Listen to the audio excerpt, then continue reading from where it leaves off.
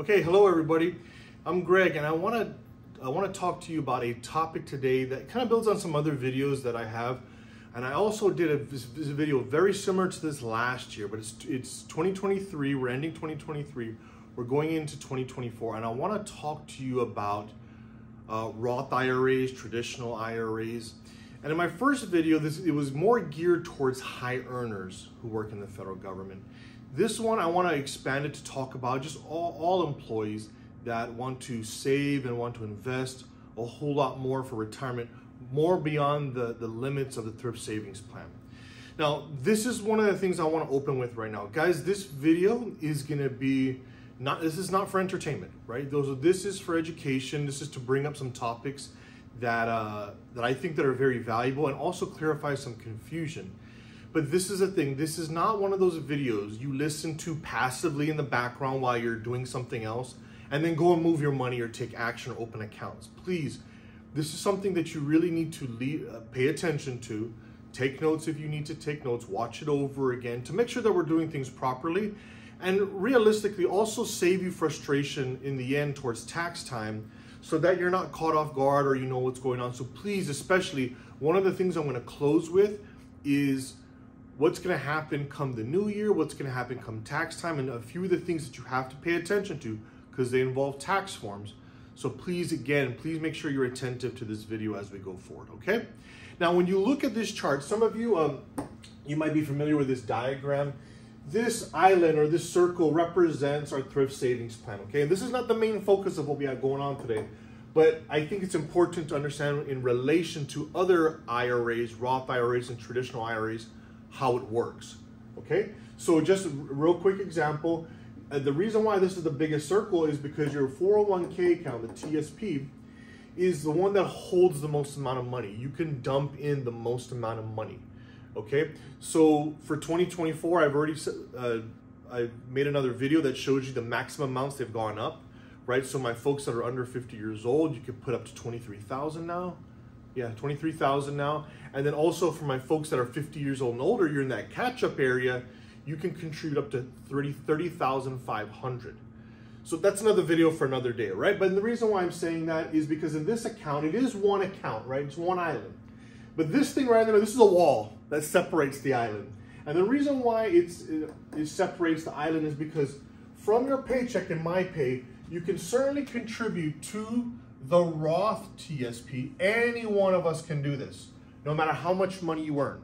So even if you're Dr. Fauci, working for the federal government, making $500,000 a year, you can contribute from your pay to the Roth 401k or Roth TSP or the traditional TSP. It's really up to you, right? So most of you watch my other videos when I say you can put some here, some there, all your money here, all of your money here, right? So I just want to make sure you guys know that, that your money can flow straight in there, all right? But the main topic for today is these two accounts over here, a traditional IRA and a Roth IRA. Now, even though these counts are not related to your federal employment, right? There's not something the VA opens up for you or whatever federal agency you're working for there, I, am making a video on this because there's a whole lot of confusion between a Roth IRA and the Roth TSP or a traditional IRA and the traditional TSP. So I want to make sure I talk about that. Plus, they're also really good vehicles for you to save more money for retirement. If you're maxing out the amount of money that um, you're putting into the TSP, but you want to save, you want to invest more for retirement, right? Um, you can do that. Now, this is a little bit of, of, of, of tax guidance here, okay? If you were, and this is not you, from, if you're watching this video, you're more than likely a federal employee, a VA employee, right? If you were an American, uh, just a normal American working in the job market right now, and maybe you work for a small company that does not have a 401k plan, right? A 401k, 403b plan, 457 plan, you have no real retirement vehicle to save for retirement those Americans can open up these accounts to save for retirement. Okay. Now, I'm going to talk a little bit later on on the maximum amount of money you can put in the account because it's a whole lot less than a 401k. But it's important to explain that that those folks can do that and can contribute, right? So they can dump their money after paying their income taxes into the Roth IRA and it can grow tax free to the day they pull it out. They can also dump it from their paycheck into the traditional IRA. Now, again, those Americans, not you, those Americans, if they dumped money into a traditional IRA, they can take a tax deduction on that money. Why? The, the way the traditional IRA functions, very similar to a traditional TSP, is it defers taxes to later on in life when they actually pull the money out. Okay? But this is the thing, right? The IRS wants to make sure that for those of us, now I'm going back to you, I'm talking about you, a federal employee or someone out there who has access to a 401k, you, because you already have this account and you already have means of getting a tax deduction through a traditional IRA, you can't also get the tax deductions from a traditional, I'm sorry, traditional 401k. You can't also get the deductions from a traditional IRA, right? You can't get both, right? It's too much of a good thing. But it is still a very important vehicle, and I'll talk to you about that here in a second when we really get into the heart of the, the backdoor Roth IRA strategy. Okay? So, what I want to talk about is this. Um, so, these accounts, the for 2024, the maximums have gone up. Okay? The amount of money that you can put into those accounts have gone up. And let me go ahead and get those for you. So, for both of these accounts, right? whether you're putting your money here or here for 2024 the maximum has gone up to 7000 for all working americans but if you are uh, 50 years old and older right you're one of those folks that qualify for the catch-up provision you can add, add, add an additional thousand dollars set for eight thousand dollars maximum okay um, so that's what we're doing for last year now um, just as a side note and please i'm not going to go over that right now maybe contact me offline I'm shooting this in November of 2023. You have the rest of the year of 2023, all up until tax day of 2024, if you want to make contributions in these accounts for 2023. So right now, if you never contribute to any of these accounts or you haven't maximized them yet, you have some time. But but again, that's too much for one video. Reach out to me offline and, and we'll, we'll, talk about it. Okay. But I just want to I want to show you that. Okay. The, the, these are the, the maximums. Now, Another thing that we want to pay attention to right now is to understand your situation is that if you're single, we'll look at you. If you're single, a uh, married filing jointly, we'll look at you too. How much money you make as a couple also determines what paths or what options you have. So let's talk about what those incomes, those income ranges are, all right? Okay, so this is where we also uh, part ways, okay? So I want you to look right here. You know, this is the less than sign, right? Remember that from, from high school? So if you are a single person, right, single filer for your taxes, and you make less than 146,000 a year, and now this is what is called MAGI, your modified adjusted gross income, right? So if your income from the year is less than 146,000, right, you can actually make direct contributions from your pay to a Roth IRA, right? You can make contributions, you can dump in that 7,000 or 8,000 straight into a Roth IRA, okay? With, with no issues. You dump the cash in there, and like I'll tell you more towards the end, dump the cash, but don't leave it in cash. Cash doesn't take advantage of power of the account. We wanna make sure we buy some type of investment so our money can grow, okay? Now, if, if, uh, so this is a thing though. If you are a married filing jointly couple, if you make le less than 2,000, uh, 230,000, you also can do that. You and your spouse. Now they'll have, you have to, even though we're taking consideration for you guys as a couple, you will not have, there is no such thing as a joint Roth IRA. You will happen to open a Roth IRA, and then your spouse opens their both their own Roth IRA, and each of you could dump in the seven or eight thousand depending on your age. Okay, so I hope that's, now, if you make more than this, okay, if you make more than that, this is, this is where, um, you know, you're a high earner, right? If you make more than this and you are a high earner, now I'm talking to you, okay? If you make more than $146,000 a year as a single filer, right? Or if you make more than 230,000 as a, as a, as a couple, right in your modified adjusted gross income. This option, you cannot make a direct contribution into a Roth IRA. Okay? Now, you can make a contribution. It's more of a two-step process, but you just can't make a direct contribution. Okay. Now, guys, if you're wondering, well, why don't I just put the money in the traditional? Why do I have to do the Roth? We'll talk about that here in a second. Okay. So now I'm talking to my high earners, my my my folks that exceed these these income ranges in their modified adjusted gross income, right? If you want to, one of the things that you qualify for is what's called, it's, it, there's a lot of different names. It's called a backdoor Roth IRA strategy. Um, the IRS calls it a doing a Roth conversion. Okay, so I'm going to talk about that now. Now, why do we want to do this, right? Why would we want to? Because what's going to happen is to get money here as a high earner, what we first have to do is dump our cash into a traditional IRA. Okay, and when we dump it into a traditional IRA, we're going to leave it cash. Don't buy any investments. Okay, once that money lands in our traditional IRA, the next day, the next business day, what we then do is what's called a Roth conversion. That same money, we now put it in the Roth IRA, and it and it lands there. Its final destination. Okay, so this is called a Roth conversion, right? Now, does it make sense? Why does the IRS force you to do two-step process rather than just make you look? I don't know why they do that. Okay, but I'm just trying to show you how to get money into a Roth IRA. Now, why would you want to go through the hassle of doing this? Well, this is the reason why. Okay, it allows you first of all to save more money for retirement, invest more money for retirement. Okay. But the reason why we put it here, now there is no benefit for my high earners. If you are working in a job, I told you that has a 401k, and you put your money here, you don't qualify for the extra tax deduction. It's against the rules. So why would you put money there, invest it there, and grow if you get no tax advantages? Okay, that is why we want to move it there in cash. The very next business day, move into a Roth IRA. Because what happens is that money, you've got no tax deductions. So that's money is you have paid the income taxes on this cash. Okay, but now in the Roth IRA, you get that cash to invest it, right? whatever in whatever you're comfortable with, whatever your you know, risk tolerance is, right? You could invest it in S&P 500 index, you can invest it in bonds, whatever, you know, that's a longer conversation for another day.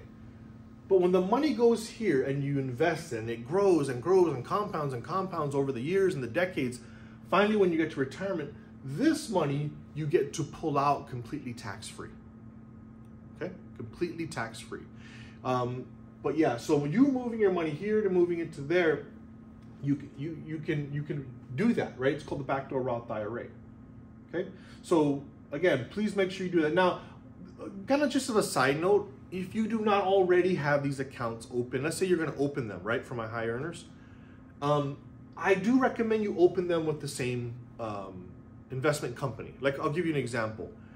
I in other videos I've mentioned this. You can open up, usually open up these Roth IRAs and traditional IRAs with your banks. Uh, I'm not a big fan of that, just because banks usually tend to have higher fees. They usually have uh, less availability to investment products, right? So again, I can't make a recommendation. What I tell people is my family's money, my family, my extended family's money, is usually our our, our accounts and Roth IRAs are usually in one of three um, one of three investment companies, right? Vanguard, Schwab, or Fidelity, right? The, I call them the big three. So reason being is those are discount brokers. that the fees they charge you on your money and in the investments are usually a whole lot lower. And then on top of that, the amount or the options you have for investing is a whole lot more broad. Okay, so so that that's what I would tell people. But keep it. The reason why I recommend keeping those in the same account, it just makes it easier to do the transactions because it does take a few days, right? It takes one day for the money from transfer from either your pay or your checking account. That's actually the best way I recommend, right? So realistically, even though we can do this, right? Maybe, and this might, I don't hope this is not confusing you more, even more, right? You have your money going into your checking account, or maybe you just have a really good balance in your checking account and you can just deposit it directly here, right? So, you know, again, um, most of us, our money's constantly flowing into our checking account because this is where we pay our bills and we pay, um, I'm sorry, we pay our bills and maybe we save a little bit of spending cash, maybe our emergency fund. But yeah, if you have that money cash, drop it in there, okay? So, so this is the thing. And again, I told you, this is not a passive video to listen to. The next two things I'm gonna go over are very important because they're talking about tax forms and whatnot, and I want you to pay attention, okay? So the next two things are what happens at the end of the year when you start receiving all these tax forms from your banks and you know from the TSP or you start receiving your W2 from work and all that. You're gathering all these documents because you want to give them to your accountant or your tax preparer to start preparing your taxes. These are two things you're going to have to pay attention to, okay? Okay. So if you make this Roth conversion, right? You move your money from the traditional to Roth, that for, for most companies will trigger them to create a tax form with you, okay? Now, that tax form you're gonna receive is a 1099-R. So let's say, oh, let's use for example, let's say um, we opened our accounts with Schwab, just, just so we have consistency here, right? We opened it with Schwab, right? So at the end of the year, if I move money from a traditional IRA account to a Roth, they're gonna cut me a 1099-R. I'm gonna receive that from Schwab the, the, the, the tax, the, ta the, the form is going to say that this person took a distribution from a IRA. Now, did you take a distribution? Meaning, did you take money out of the account and put it in your pocket or put it back in your checking account for you to spend? The answer is no. But the transaction just triggers that form. Okay? You know what you did was move it from one account to another account, and you technically don't have it in your hands to spend. You have it in another retirement account, okay? And that's okay. Just I don't want you to uh, freak out, okay? But when you go to file your taxes, right, you're gonna you're gonna give your accountant or your tax preparer this form. But I recommend one of two things. Also give them this form. You can print it out online. Now the thing is, is right now we're in 2023. If you are to print this out for your to file your taxes next year in 2024, you want to make sure you're getting the 2023 version of the 8606.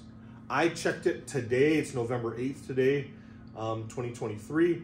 Um, they still haven't uh, released that form yet. So again, maybe Google uh, tax form 8606 for 2023 by the time you're ready to do this. Okay. Now you could fill this out and give it to your tax preparer, or uh, that's what you're paying them to do. Inform them I did a Roth conversion, right? I did not take this cash, unlike what this form is saying, right? I did not take the cash. I just moved it to a Roth IRA account. Therefore, um, please file this form with the IRS. Okay. So, guys, and the reason why this is, some of you may not know this, even in retirement, when you start pulling money out of Roth accounts, even though Roth are tax is tax-free money by that time, those people like the TSP or you know Schwab in this case, they're still going to cut you a 1099-R to show that the money has come out, the money's moved out of a retirement account.